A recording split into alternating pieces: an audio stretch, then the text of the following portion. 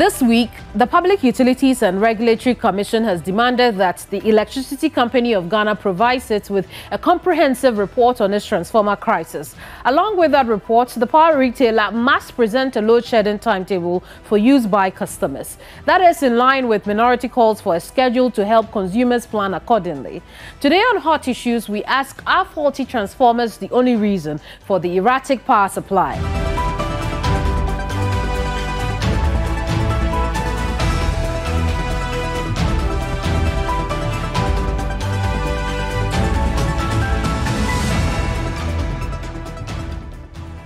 On the program today, we speak to the man who has gone frontal with the Electricity Company of Ghana and called them out for their deceit and incompetencies.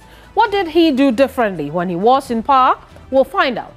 I am Kemini Amano, and my guest today is Minorities Ranking Member on Parliament's Mines and Energy Committee. He's also MP for Yape Kusogu. John Abdullahi Jinapor is my guest on Hot Issues. You're welcome to Hot Issues. Thank you.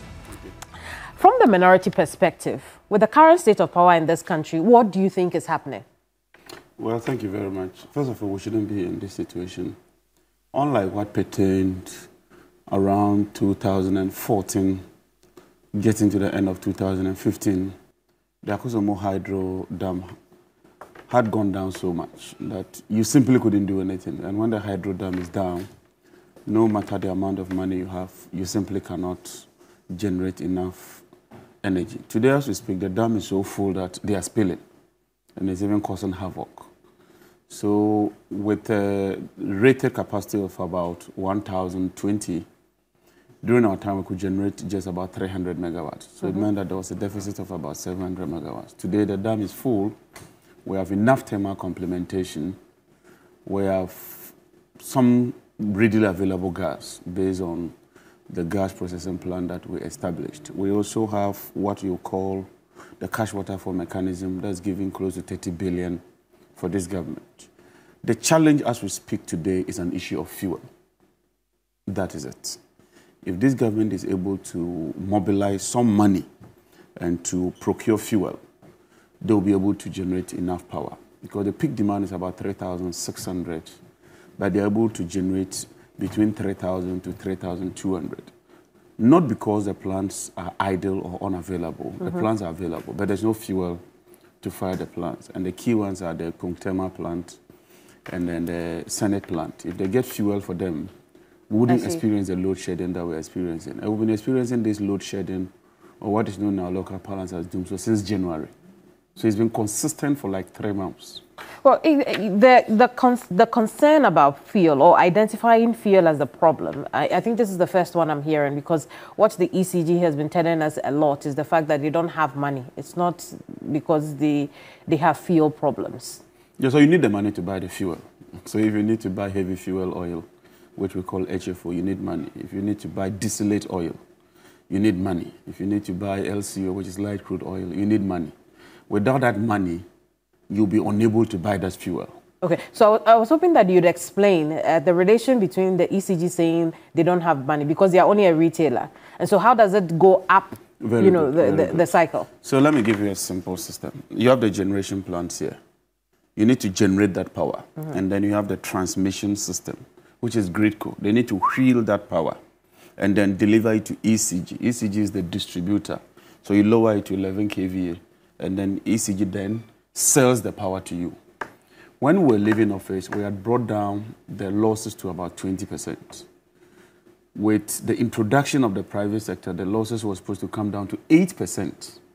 Today, as we speak, the losses have ballooned to about 34%.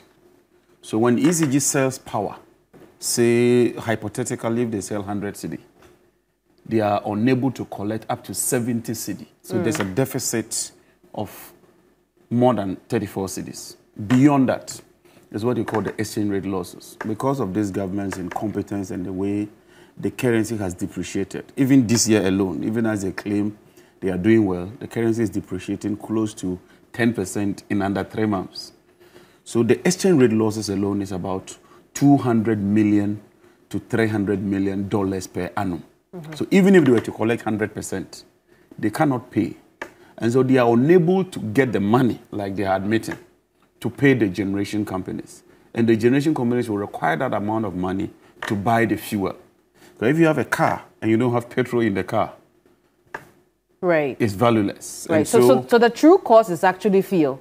And it's, it. and it's caused by the fact that we don't have the money. It's not that the fuel is not even available. The fuel is available. If you have the money, you can readily buy the fuel. But because of the state of bankruptcy of this economy, mm-hmm. the Ministry of Finance is unable to support ECG to buy fuel. Worst of all, even the power that we consume, i.e., the police service, the military, the hospitals, the schools, the Ministry of Finance, under the Extended Credit Facility Agreement, under the IMF program, has confirmed and agreed that they will pay.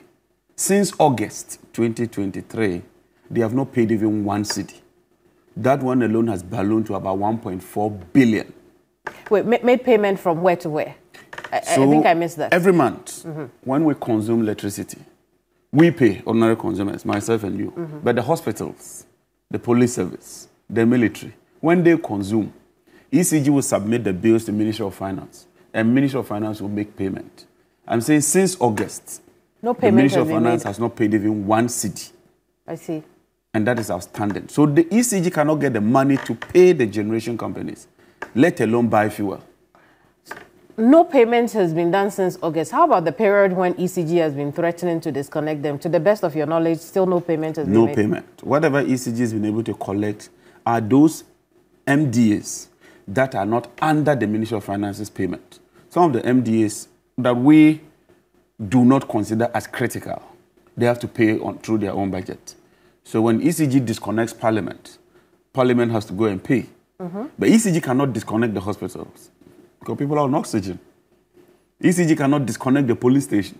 ECG cannot even enter the military barracks, let alone disconnect them. So they keep consuming. The Ministry of Finance and government is unable to pay. The debt is building up. And as we speak today, the current liability in the energy sector value chain mm-hmm. is about $1.5 billion. When you convert that to cedis, that's about 17 billion cedis. And it's piling and piling. And so my fear, and it's a legitimate fear, and I've briefed the flag bearer, His Excellency President Mahama, that on an assumption of office, uh-huh. he's going to inherit a weakened, anemic, emaciated, run-down energy sector. And this government is just undertaking what we call palliative measures, mm-hmm. just trying to manage the system and dump it once again on President Mahama. And he has to undertake what we call the heavy lifting once again. Because when we assumed office, I recall when we had our first briefing with President Mahama at the Flagstaff House. Just after the briefing, he said, Look, I'm going to take responsibility. I'm not going to blame anybody. He came to Parliament and told us the state of the energy sector we had a deficit, we had a generation problem, we had a financial problem, we had a fuel problem. He was going to solve it comprehensively. By the time we left office, we had a Atuabo gas processing plant. Mm-hmm. But for that Atuabo gas processing plant, we incur additional cost of 300 million to 400 million dollars every year. And you can imagine over eight years if we had to cough up 400 million dollars in terms of import substitution with light crude oil. That's a huge burden. So the fuel issue was addressed with Atuabo gas processing mm-hmm. plant. The generation issue was addressed with the rapid mobilization of thermal complementary power that has never been witnessed before. Ameri, Aksa, Early Power, mentioned them. All right. of them were so, brought so, on board. So since you have been talking about the previous administration, what was the debt level in the energy sector that you left behind before, you know? Before we left, office? the total debt at that time, when they checked, was about 1.7 billion cedis. 1.7 billion cedis? Cedis. Today it's 17 billion cedis. That is why we came up with what you call the energy sector levies, mm-hmm. which was supposed to generate about 4 billion per annum. How is ESLA doing now? ESLA has been mortgaged. It has been used, and now they don't even have the money. And the sad thing is that the money is not being used to pay for the real energy sector debt. What they are doing is that they keep borrowing the money, using it for pensions, for other non-related energy sector. And even the energy sector, what they are doing is that they are paying just some part of the interest component, some part. not the entire uh, component. And I recall that around September 2017, 2018, thereabout, when this government checked everything, they even came and said the whole bill was about 7 billion thereabout. We said, no problem. If you are getting about 3, 4 billion, you should be able to amortize and pay. But where we are, not only do we have the old debt increasing, mm-hmm. we are getting fresh new debt compounding and piling up. And if we don't take time, by the time we assume office, we'll cross the 20 billion mark. On the subject of ESLA, did the finance minister at the time, um, Ken Ofori-Atta, answer any questions regarding what ESLA's money uh, was being used for and why it wasn't be, being applied to, you know, the energy sector? By law, he's supposed to furnish Parliament with the receipts and expenditure of the energy sector levies. And so by law, we get the reports. And I have the reports, annual reports. And you could see, for instance, 2019, that he used part of the money for pensions, mm. which was not supposed to be the case.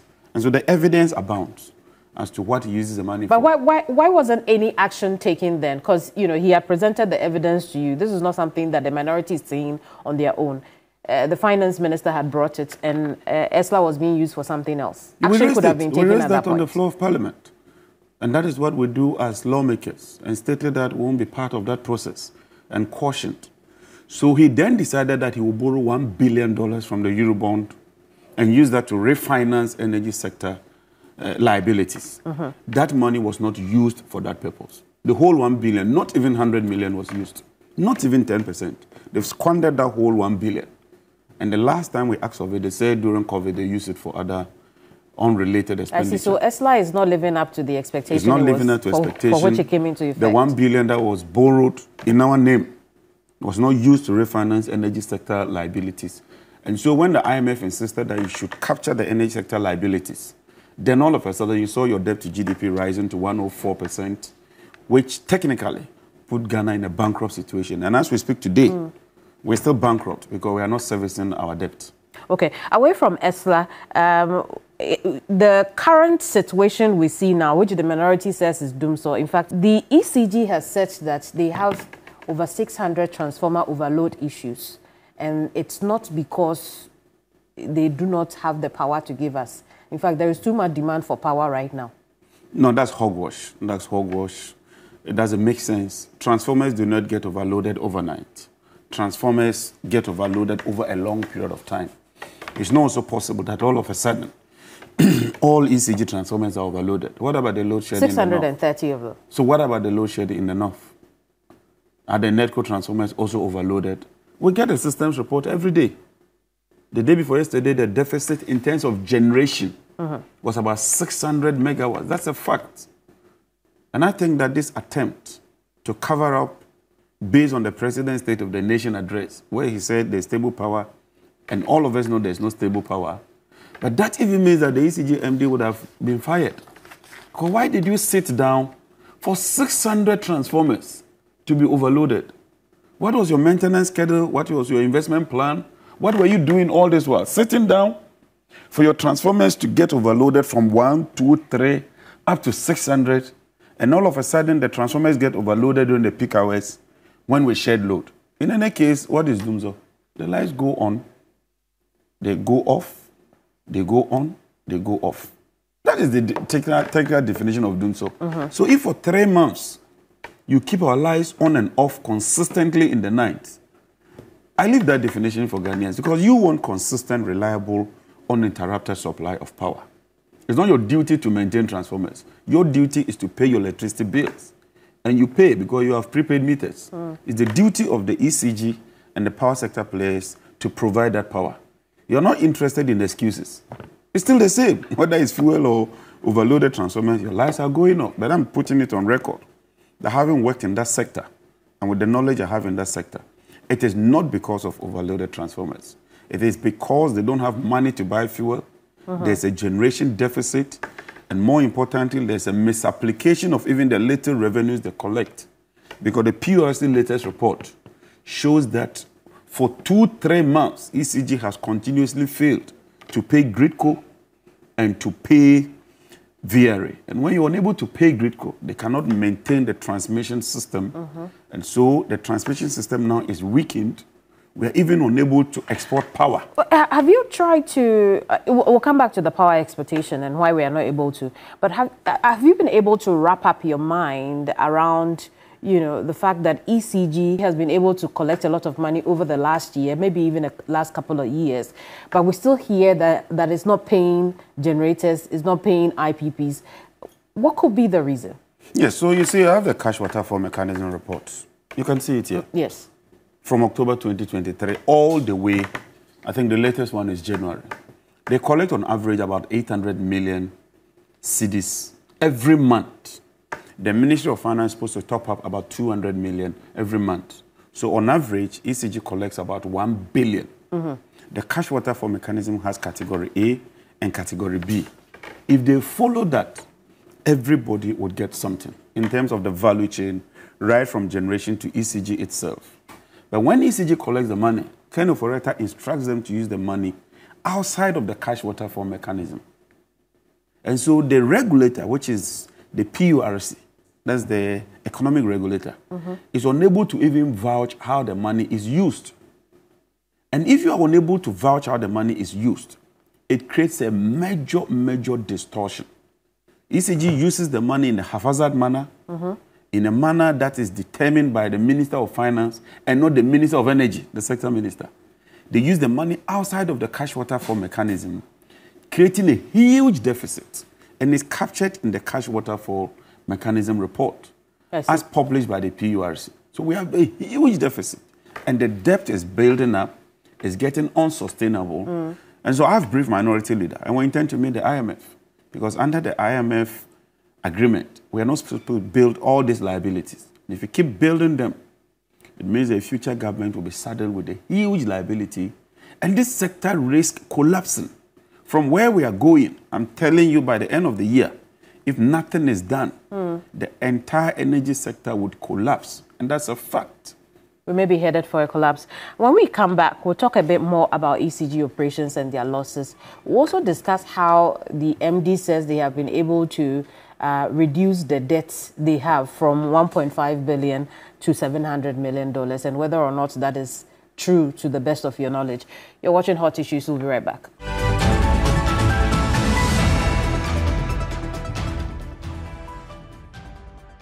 Welcome back to Hot Issues. My guest today is MP for Yapei-Kusawgu.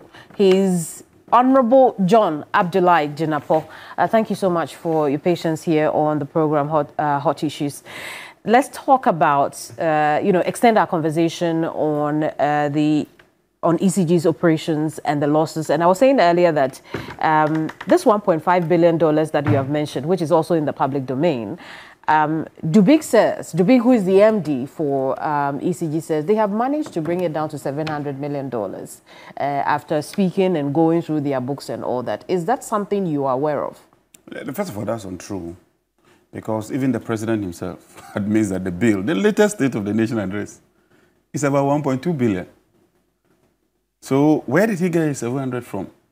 You recall that Dr. Bawumia said the debt was about 1.7 billion. Mm-hmm. At that time, we took issue. I personally led the charge on the minority side and said that's inaccurate and advised government to do a full audit. Government even came out with an Excel spreadsheet confirming that the bill was actually 1.7 billion. Lo and behold, after the audit, the bill is actually 1.2 billion. The president himself came, the State of the Nation address, and admitted that the bill is not 1.7. So it's not as if somebody is done some magic. They've only eventually listened to the minority and shown that the debt is 1.2 billion and not 1.7 as Dr. Bawumia sought to justify at that time. And that's mm. why we keep telling them knowledge does not reside with only one person. And so when we advise you to listen to us and to do what is right and proper, mm. I think that sometimes they should listen. The, the concerns that uh, uh, the ECG MD has raised also about this debt is the fact that uh, it is also responsible for it is the take or pay agreements that uh, the previous administration uh, had signed, and it's costing them a lot of money. But he just signed a take or pay agreement with Aksa in September 2022. He's just signed a second take or pay agreement with Aksa again for 20 years. If take or pay agreements were so bad, why is he signing them today? Are the percentages the same? The percentages will never be the same. Because when you go for emergency power, it's different. And the Aksa plant, we've even paid for it. We signed for five years, we paid for it. And I think we shouldn't even be paying capacity charges. If you take the Tema oil, oil, uh, LNG project, they signed it. It's a take or pay agreement. Mm. No investor would come and invest and say that I'm investing, say, one billion in Ghana. And that as and when you need it, then you pay me. If you don't need it, I go and sit. There will be some element of guarantee. And I'm demonstrating to you mm. That the Aksa agreement signed under this government, even Zipline, Zipline, flying of medical drones, they have put take or pay clauses there. And this was confirmed in Parliament. So that is untrue. If you take the gas sector, for instance, the issue of take or pay doesn't even come in because we are consuming way and above mm. the contractual volumes with uh, our OCTP partners. So clearly, where is that take or pay? So we have always heard that we don't have a generational, uh, a, a, generation problem, right? And so to have more take or pays come on, uh, was that a necessary agreement at this time? That is what they have to answer. But the truth is that nobody, no investor, you go to every bank and say, I want to come and invest in Ghana. Even with our current track record, where nobody wants to deal with us, the investor will ask, Where is the guarantee? What's the assurance that you'll be able to pay? The only way you can assure the financial institutions is that you have some levels of guarantee. If you don't have it, nobody would invest in Ghana. And I've just shown that the recent ones shows that look, without some element of guarantee, which others call capacity charges, mm-hmm. known locally as take or pay, you wouldn't get that guarantee. But ECG should rather be concerned about the losses. If you have 34% losses, moving from 20% to date, if you have the level of corrupt activities, the level of opacity and duplicity mm-hmm. that characterized the PDS agreement, which led to the Americans withholding $200 million, which would have been invested in the distribution sector to ensure that you don't have this so called overloaded or whatever uh, transformers, transformers, to ensure that the collections are efficient. That is where they ought to be looking at. Because but for the PDS scandal, the losses would have reduced to 8%. It would have brought about efficiency.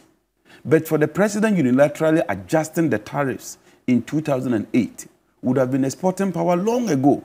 Because President Mahama's vision was that we should export power.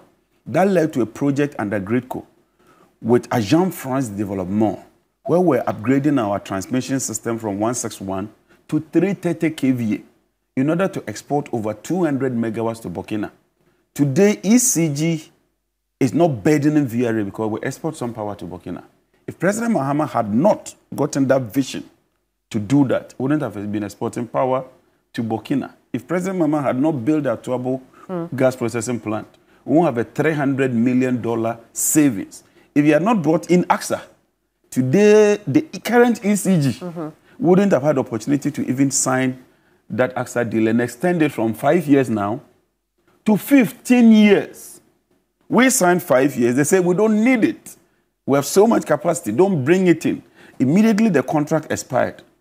They signed 15 years. We take or pay clauses in that agreement. I see. Now, I, I, do want us to touch a bit more on the losses. Uh, uh, part of the 34% losses is also because people are um, taking advantage of the system, um, you know, bypassing the, the metering system, essentially stealing power yes, from the yes. people, right? So, um, what we know is this prepaid system was supposed to have dealt with all, all of these things. Yes. Why do you think it's not happening? Because when they came, and you see, that's why it's not because I'm NDC or I support president. The man had a vision.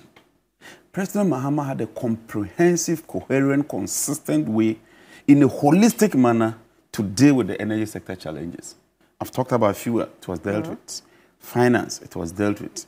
Generation, it was dealt with. Distribution, PDS was supposed to deal with it. Then what you're talking about, losses. We have what you call the ATCC, aggregate technical collection and commercial losses. Our target was to bring it to 8%. And within the industry level, that's allowable. And even the transmission, we're upgrading our system from 161 kV to 330 kVA to ensure that there's reliability the system is robust, is resilient, can transmit more power, and reduce the losses. So we voted about $80 million to bring in so much of what you call smart meters. Uh-huh. These meters do not require ECG officials to even come to read your meters. Using a SCADA system, which is a system that allows you to sit from a remote area, you're able to control the whole system to know the load, to know where the power is sold, to know the collection and all that. That was a vision. They came and dealt with it in a haphazard manner. That matter is how, even. How do you mean they dealt with it in a haphazard? Look, they abrogated that contract in a way. The meters are still at the harbor. They refuse to clear them. The meters are gathering dust at the harbor. Since when? Since they assumed office. For almost eight years, they've simply refused to follow up with that process. I was even invited to EOCO on two occasions. They investigated and realized that there was nothing untoward about it. But you see, it's state money. Yeah. So at least, even if you want to prosecute us, I have no problem. But use their resources. Mm-hmm. But you decide that you won't use it. Rather, you want to procure new meters. Is that not considered loss to the state? That is a huge financial loss to the state. And as we prepare to come into office, those who would assume office and will be appointed by President Mahama, they have a lot of work to do in terms of holding people to account, mm-hmm. accountability, putting their feet to fire, and ensuring that they answer for their stewardship. But you see, we can't continue like that. And that's why President Mahama said, on assumption of office, his main priority will be to clear the pipeline, mm. i.e., deal with pipeline projects, rather than being in a haste to come up with new contracts and also ensure that we bring some level of sanity and some efficiency at the distribution sector. Because ECG is the key. If at the distribution level, your collections are inefficient, the losses are high, no matter what you do, it cannot transcend to the, the other the, systems. I want to talk about the PURC. Um, what will be your assessment of their um, mandate the last eight years? I think Act 538, I think that's the act that establishes PRC. If we allow them and we give them the leeway, they would function effectively. And sometimes they might increase the tariffs. You will not be happy. But at least there should be some consistent, reliable power. But when there's this level of political interference, like the president tried to do by announcing tariffs himself, then you distort the whole system. When the PURC gives instructions and the ECG refuses to follow, it sets a very, very dangerous and bad precedent.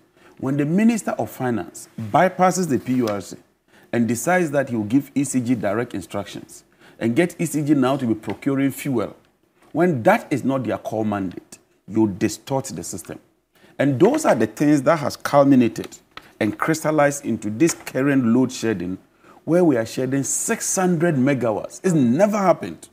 Not even under NDC in 2015 when we had power crisis with the Akosombo Dam drying up. 600 megawatts. That's a huge amount of power that's being shed.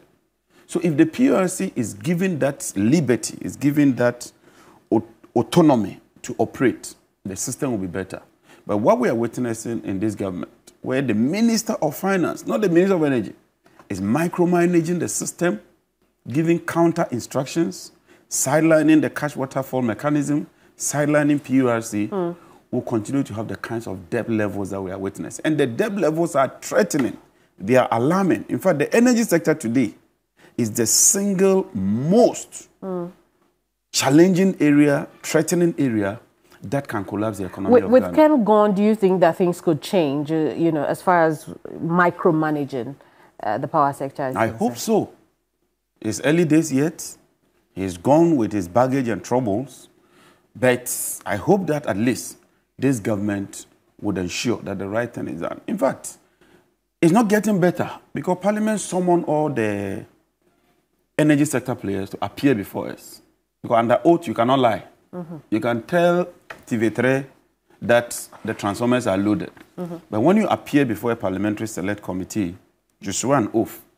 They fail to appear. Just this Wednesday, they were supposed to appear. None of them appeared. Because if they had appeared under oath, mm-hmm.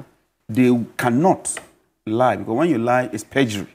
They did not appear. I hope that the chairman would take that up because we have the powers to summon them. We've summoned them. They failed. I thought about now we should be referring them to the Attorney General. There was no, no reason. That, that's one too many, isn't it? No, it's one too many. It's one too many. And it's because the falsehood is so much, they've peddled so much falsehood, they've gotten to a level where they simply cannot even appear before a parliamentary body. Very well. Uh, we'll take a quick break. When we come back, just uh, one more on, on, the power sector, and then we'll move on to the mines. Don't go away.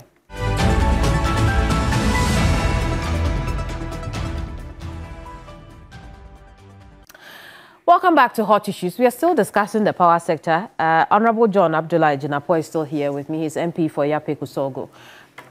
Let's talk about the availability of the fuel itself, um, chief of which is gas. How are we doing there? So, if you look at the gas, clearly our gas, and I wanted to give you the statistics, our gas production is declined. Our oil production is also declining. In fact, for four consecutive years, you are seeing oil declining. And Ken Ofori-Atta, in the 2024 budget, did indicate that crude oil production has decreased by about 10% we handed over to this government three oil fields. Mm-hmm. They have not added even one. Eight years, not even one oil field. But do more exist? Added. We have the potential, but because of the state capture, because of the duplicity, because of the lack of transparency and the underhand dealings, ACE has a problem with us. ENI has a problem with us. We're in court with ENI. ExxonMobil has exited. All the big boys are leaving this country and going to Cote d'Ivoire. Gas production has declined by about 30%. And if you do not invest, that is how the oil sector is. It will keep declining. And so, even in the upstream sector, this government is leaving it in a very poor, sorrowful state. And once the gas levels are reducing, it means that you won't have enough gas to fire your thermal plants. Meanwhile, generation and demand is increasing. So we should have had a commensurate level of investment that will ensure that we get new production, mm. new fields in order to meet demand. We are not even able to plateau. It's rather declining. Mm. And so, look, this sector has been run down, mm. it's been depleted. I've never seen or witnessed this level of incompetence. Are, are we able to pay for, for I mean, to the best of your knowledge, are we able to pay for gas from the West African pipe gas, gas we line? We are not able to pay. Sometimes even $12 million payment is a major problem. And not just that. Mm-hmm upstream with the OCTP fields that the World Bank guaranteed, this government is unable to pay. So they have drawn down on the letters of credit and the payment guarantees, putting Ghana in a state of red. I see. They are not able to pay for the gas that has been consumed. Not take or pay. This gas has been consumed, it's been supplied, we've used it for power production, mm. but they haven't been able to pay through the value chain. So the partners have had to draw down on the World Bank guarantee. And as we state, we see today, it's in red. Look, I am very worried for the future of this country. And let's talk about let's talk about sector. that future. You mentioned earlier how you had told the, Uh, the your candidate, the NDC's presidential candidate, that the energy sector is not what it used to be. What would be your advice on the three top things to be done if an NDC government comes back to office? Well, the flag bearer has constituted a team. We have the energy manifesto team, which I chair. We have a lab group, which is a technical group that's supposed to come out with real policies. Because he says that when we assume office, we hit the ground, the ground running. I chair that one as well. Mm-hmm. The first thing we are doing the first 100 days is to reduce the losses. We are determined. We've done it before. We reduce the losses to 20% and we're down on a downward spiral mm. trend. They've come and they've just messed it up. So that is number one. We'll reduce the losses immediately. And how would you do that immediately? By putting competent people there, by being transparent, by allowing PURC to work, allowing Energy Commission to work, setting realistic, achievable targets for ECG and giving them the necessary tools through the budget system so that they can operate and allowing them and giving them the leeway to operate. Mm-hmm. Two, sending a, a, confidence signal to the international community and the business community mm-hmm. in the upstream sector. And you would see that it will lead to the big boys coming back again. We've done it before. We, have, we handed over FPSO Kwame Nkrumah, FPSO Atta Mills, FPSO John Kufuor. three FPSOs done by the NDC. We will do that, which will then show up revenues. Mm-hmm. It will bring about confidence, and then it will have a cascading effect and a, a throughput effect. So when you deal with these two, three, we will export power. Because when we export power, we are going to get the needed foreign exchange, which will bolster the currency, which will make the economy resilient. But four, and more importantly, economic management. We wouldn't have a system where we have to run down the economy and declare the economy bankrupt. The fact that the money you have given to us mm-hmm. as bonds will give you a haircut. It never happened under President Mahama. And that confidence, when we send it there, people will be willing to do business with Ghana. with the fight against Galamsey. Uh, we have focused a lot on illegal mining, but what we have also noticed is there are a lot of mining licenses licenses going out in this, uh, uh, you know, uh, administration compared to at least, you know, the previous administration, which is in recent history. What can be done really about how the impact, you know, mining is having on our environment? Because we have bl- blatantly, it's ob- obvious that we have lost the fight against uh, Galamsey. Galamsey. So, what is the apparent solution here? Yeah, the first solution for me is that Ghana now is a frontier and expanding when it comes to mining. In fact, Ghana is number one now when it comes to the production of gold. And so we have a huge opportunity. New fields are being developed. What we are saying is that restructure the sector. Don't prevent Ghanaians from mining. Don't use the military to brutalize people. Don't engage in the corrupt activities that we are seeing by the tax force, where uh, excavators are flying away and being sold, where people are in broad daylight, you can see on camera, accepting bribes. Restructure it. Give them the real licenses. Regulate them. Let them know the technology so that they can mine in a responsible manner. Now, with advancement in technology, you can mine without using mercury.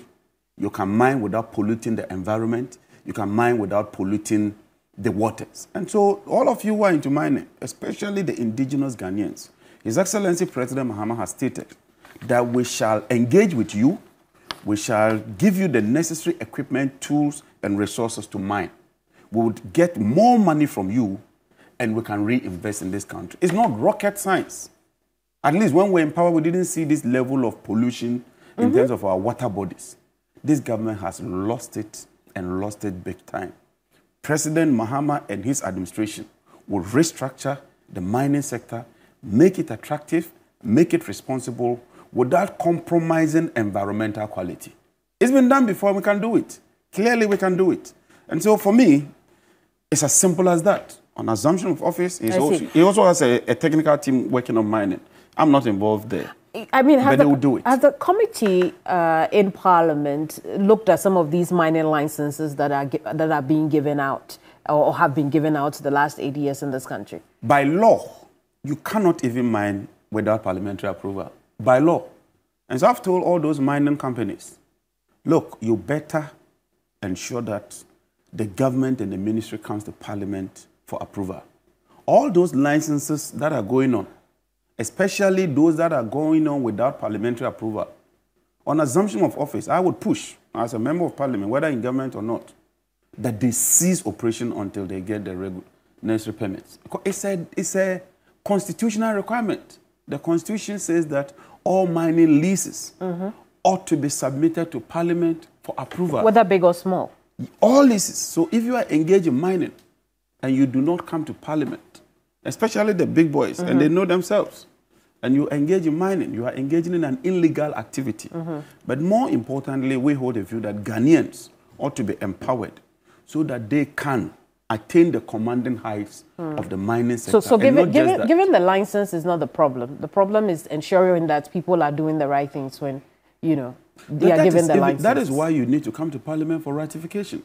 Then we will scrutinize and ensure that all these state institutions have put in place the necessary mechanism to ensure that our environment is protected. But if you continue mining without coming to Parliament, Mm. first of all, that's an illegality, and it's something we ought to check. Let's talk about lithium. What's the latest on that lithium deal with uh, at the Ewoya mines? We have stated that the current lithium agreement, in its current form, is a inimical to the state. It doesn't serve the interests of the state and ought to be renegotiated. The party has stated this position explicitly, and as members of parliament, we support the party's position. Mm. And we've stated that we cannot support it, it has still agreement. It has still not reached parliament since they tested the waters with it. What do you think will be going on now? Well, maybe they want to renegotiate. Mm. Maybe they want to buy time. I see. Maybe they themselves have realized that when it comes to parliament, it will not pass. So we would encourage them to listen to what the party stated mm. and factor that into the agreement. And when it's good, when it serves the interest of this country, if it's well negotiated and ensures that the local content and Ghanaian participation is enhanced. We are not obstructionists in parliament. The minority is not determined to obstruct. Mm. Our determination is to serve this country, do what is right, and do what is proper. I see. What can we do to get our $12 million back as far as the Agyapa deal is concerned? Well, it's not just 12 million. I have the details. Oh, what is it? There's another 2 million. So we're talking of about 14 million. Not just that, I have the companies. And once again, these are companies that are related to the president's family. I they see. just shared the 12 million, like Kelly Willie, Granot, amongst cronies, mm. amongst uh, people who are connected to them. The uh, procurement processes were done in an opaque manner, no competitive process, no value for money. They just share the money. But are there any names we know? These companies that you have? Fortunately, some of the companies are law firms uh, headed, owned by people affiliated to the president. The insurance companies, some of them are affiliated to people in government mm. and who are connected once again, just like they did with the PDS, just like they did with Ameri, mm. just like almost all the scandalous deals that we have witnessed. This Agyapa deal is also a monumental scandal uh, which is turning out to even mm. unveil more things. But clearly, on That's assumption it. of office, I'm sure that the president's team Let would pursue the necessary legal action and retrieve these monies. There is very little knowledge known about uh, what that $12 million was used for. Uh, to the best of your knowledge as the minority in parliament, what do you know about this? Well, they told us that they contracted the services of some law firms, uh, insurance firms, uh, some uh, investment uh, advising firms. But the point is that we kept cautioning them that it wasn't going to be feasible. The structure was not good. You go and establish such a, a body in a safe haven where the reporting standards are not very, very good. Mm. And uh, the level of opacity, who are the true beneficial owners, we didn't know. So clearly, it wasn't well thought out. $12 million on services alone? Uh, on all kinds of unnecessary expenditure. And, and for me, that's very, very unfortunate. And when I saw the list, I told myself, why would you do that? Is this and, retrievable money? Can we get it well, back? It will be very difficult because these are companies that did not compel you. So worst case scenario is that you might be charging a public officer for willfully causing financial loss to the state because the companies are independent. They did not compel you, they did not put a gun on your head. You went and asked for their services. And if you ask a lawyer to write an opinion for you and you pay a huge amount, you cannot blame that lawyer unless you establish some level of conspiracy mm. or duplicity. And so those public officials would have to be held liable. We have to ensure that they pay for their actions. And that would be or serve as a deterrent for other uh, future decisions uh, that will be taken by public officials. This week we heard that some tax waivers were being snuck into uh, the system and the minority yes, yes, spending yes, of. What are these ones about? Yeah, what we've realized is that they just go and pick some companies, bring them to parliament, give them tax waivers, and they say that's 1D, 1F. That's what they've been doing. All this 1D, 1F, it's not as if they are establishing factories. We ask them, how many new factories have you established? If you go to my region, Savannah region, not even one factory has been established. You go to Upper East, I'm not aware of any new factory there. So you can't take existing factories, package them, give them tax waivers in a discriminatory and haphazard manner, and then turn around and tell us, look, this is 1D, 1F. Mm. I mean, it, it, doesn't make sense. That's why we say we will not grant those tax waivers again. And they are huge sums of money, millions and millions of dollars. We can't do that. How, how many companies are we looking at? How much would we have been losing to taxes if that had gone through? From, from uh, the back of the envelope, we are looking at about 5 billion cedis. And that's a huge amount, mm -hmm. if not more. 5 billion is a huge amount. Annually? From the package they brought, where they just oh, bring right. it and say, give them this tax uh -huh. waiver, which means they are importing certain items. They have to pay some taxes. But government say, no, I won't take the taxes. And we say, what is the criteria? Why would you choose company A and leave company B? What it means that you are disadvantaging company A. Because company A or B is paying, the other company is not paying. It's not a fair playing field. If you want a fair playing field, maybe reduce the taxes mm. and say that everybody is paying, say, 10% across board.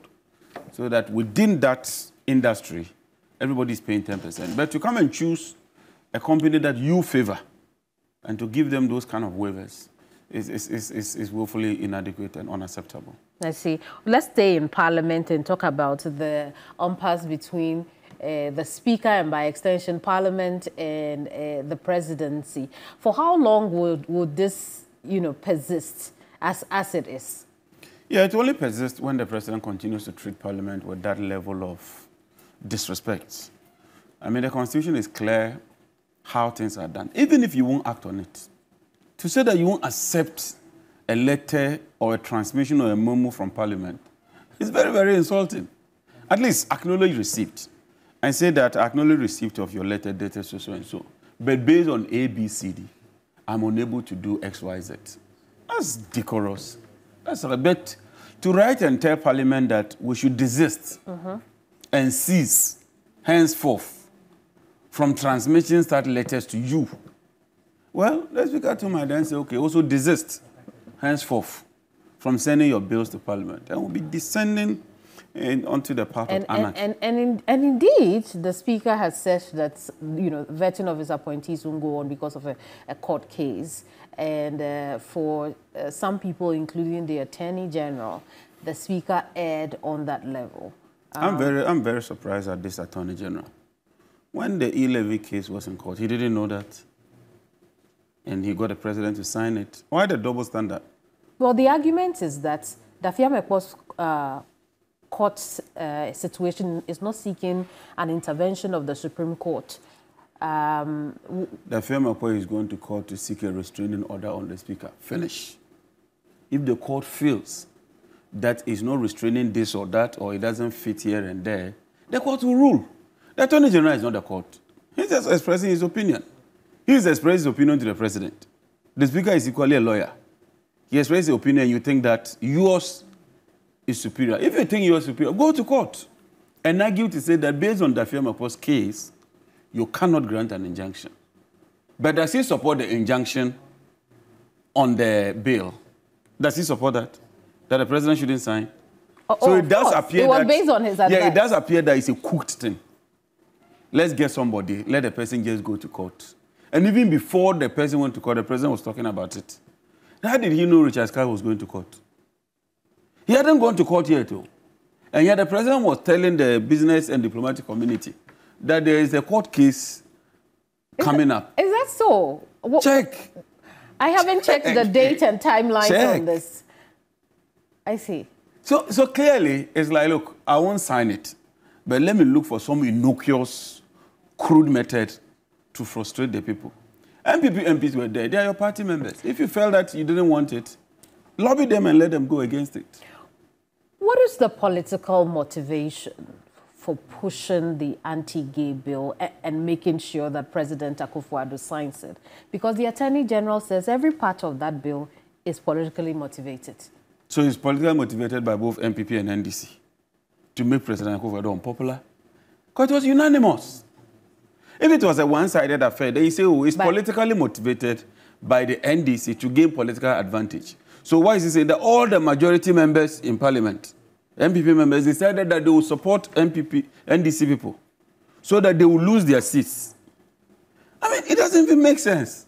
Where's the sense? Where's the logic in this? He, he says it's not urgent, and he thinks that so the proponents, tell his people in parliament, the proponents are politically motivated to. It was this. signed by both sides the motion was moved by both sides, both NPP and NDC. I wasn't deeply involved in that, but on the floor, the sponsors of the motion are not just NDC members. They are both NDC and NPP. But there's a president who says he wants to build a cathedral for God. Help us to promote proper sexual marriage in accordance with what God wants. He said no. So which is so do they support the LGBTQ movement or what? If they don't, and they have some amendments, they could have brought it to the floor. The Attorney General had every right to come to the floor as a minister and advocate that, oh, maybe clause one, as Attorney General, I think that is not proper. Mm-hmm. Let's tweak it this way. So that all of us will then come up with a document. You don't sit, fold your arms, keep quiet. When it's done, then you try to punch holes in the bill. That's not what an Attorney General should do. He's a minister. He has your, audience in the chamber. Your side in Parliament is saying that, look, if this goes on, we, would, we are already looking into impeachment of the president. Uh, how are you going to That's on the that? table. That's on the table. If both sides pass a bill and the president thinks that all the members of parliament, 275, we are not wise enough and that we didn't do the proper thing, and he is wise, and he couldn't use whatever means to talk to his own people in the at the consideration stage because this was it was done in public. It but, wasn't shrouded but, in secrecy. But you, you, must admit then he how, must have a problem. You must admit how his side is already supporting him in his letter to Parliament. And so, if you were to go the route of impeachment, impeachment, at best you would only get the quorum to give a notice. You cannot go through with this. Let's get there. When we get to, when we get to the bridge, we'll cross it. I think what we should do is to send a letter back to him and tell him that he should sign it. If he won't sign it, he should come back to Parliament with reasons why he doesn't want to sign it. But to say that we should desist, cease, forthwith, with sending letters to him mm. or communications to him, that is a huge insult to Parliament. And I'm asking myself, so and, and the, is, is, that at, the, at the presidency, all the people, the, the chief of staff, his advisors, all, is that the letter they were able to write? I mean, beyond everything, you look, let's even forget about the politics and is that a proper letter? Is that how you communicate to Parliament? That the secretary to the president writes to tell Parliament that Parliament should cease and desist henceforth from sending such communications to the president. Is that how they were trained? That you write to Parliament with such level of disrespect? Oh. I mean, no, no, no, no, no. I mean, look, that's not Ghana. I that's, see. that's not our standard. But, but speaking of impeachment, is the president conduct at the moment an impeachable offense? Well, it's, it's on the table. It's on the table. But is I, it an impeachable I offense? think that leadership will meet. Usually that's what is done. And they would communicate to the president and advise him to behave. I'm sure if he fails to do that, we would impeach him. And we would impeach him if he fails to heed our advice. I the see. impeachment is on the table. Let me assure you, it's on the table. It's one of the cards. It's not off the table. It's, we are watching that, Very well. and all options are on the table. Through constitutional means, president can be impeached. And if he gets to that level, if he crosses that red line, we'll move that process. I see. Eh, so, so my guess is that you would, that, you know, if you were to impeach, you consider this uh, be behavior or conduct of the president inimical to, you know, our, our constitutional democracy. An affront to the constitution, to mm -hmm. the mm-hmm. tenets of and principles of good governance and democracy. And already we are talking to some of the majority members. And it's going well? Very, very well. Positive. And I would just wish that they would advise him mm. to sign this bill. He shouldn't delay. He should sign it. If the Supreme Court is minded to strike it out, Okay. Or well, declare it null and void, they will do that. Indeed. While we are in Parliament, let's talk about the minority and the Electoral Commission. Your leader came out to say that the Electoral Commission had told them that some seven BVD machines were missing, only for Electoral Commission to say no. How is that conversation going on among uh, you members on the minority side in Parliament now? First of all, I stand by the minority leader. I know Honorable Ato Forson is a man of integrity, a man of his word. He wouldn't come out to misrepresent the minutes of whatever transpired. But the EC admits that there's some missing. So whether the mountain went to Muhammad or Muhammad came to the mountain, or whether Jonah swallowed the whale, or the whale swallowed Jonah. There was some swallow or movement. They are saying that five mm. laptops were missing. And the EC would not just buy laptops for showcase. They would buy laptop because they want to keep some critical information. Right. So they, no they matter say, what. They say they have no information on it, but where does this end? You know, where is the exit for all of we this? We need an independent inquiry. We need an independent inquiry to assess all the biometric machines and their laptops and their data to ensure that the integrity of the whole electoral system is, uh, is, pre is preserved. Because in this election, 2024 election, it's a crucial election. And Ghanaians cannot go through this excruciating, unimaginable, unparalleled, and uh, painful, terrible situation where even to put three square meals on the table is now becoming a difficulty. And when they go to express their opinion and they go to vote, somebody will sit somewhere through very crooked means, uh, steal the mandate of the people. We will Very not well. allow that. We must ensure that this election is free, fair, transparent, and that President Mahama is sworn in on the 7th of And do you get that indication right now? As for the decisions being made, Ghanaians have decided that they are tired of this incompetent government. That's No, a fact. Do you get the indication that the EC's conduct inspires a free No, I'm not satisfied with their conduct. I'm not. I'm not. I'm not satisfied with their conduct. I think they can do better, especially their posturing, their level of engagement. I think they can do better. I see. I want to talk about the Jinapor brothers. Was it intentional to spread yourself across the three parties? No, we don't have three parties. We are two politicians. You're two politicians. I thought the, the CPP Jinapor too was. Oh, there's no CPP. I heard that. too, So there's no CPP. So they're just the two of no, you. we are two. uh, You know, I, I, I had my formal education in the north. And so I happened to associate with Haruna, John Mahama, Uh-huh. uh, most of the current leaders that we have. And by association, I, I happened to join the NDC. My brother was in Ashanti region, and Uh-huh. it looks like along the line at KNUST, he tended to associate with Dr. Nani and all I those. see. The thing is that we don't have a political tradition in our family. Unlike others who would get up and say, my father was a minister, Mm-hmm. my, so they follow that tradition. But I think that I made the best choice. I mean, the NDC. Better than your brother yes, did. yes, yes, I'm convinced about that. Thank you for coming. Thank you. It's been a pleasure talking to you. Thank you. My guest on Hot Issues today has been uh, Yape Kosogo MP. His name is John Abdullah Jinapor. We've had a very fantastic conversation about the power sector, the mines, and also Parliament. We hope you enjoyed this episode of Hot Issues. I'm Kemeni Amano. See you again next week. Bye bye.